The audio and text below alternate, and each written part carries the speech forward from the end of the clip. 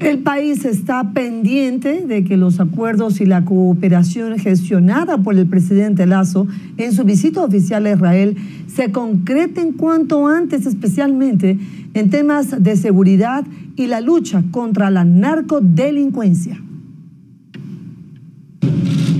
Una de las principales actividades del presidente Guillermo Lazo fue la firma de un memorando encaminado a un tratado de libre comercio con el presidente de Israel, Isaac Herzog.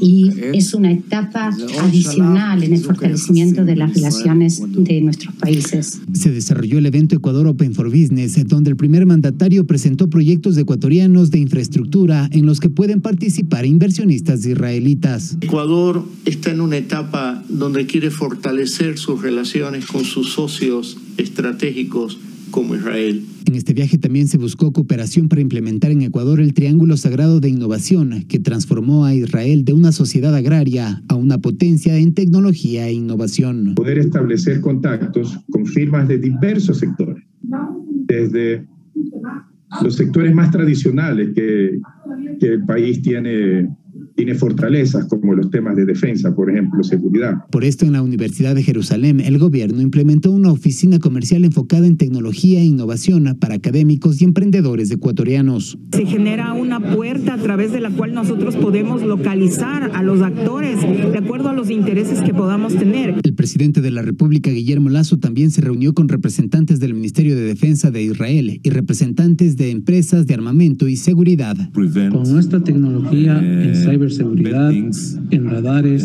electro-óptica y en toda la red que podamos conectar juntos como un solo sistema que defienda al Ecuador del tráfico de personas, del tráfico de drogas y de actividades militares.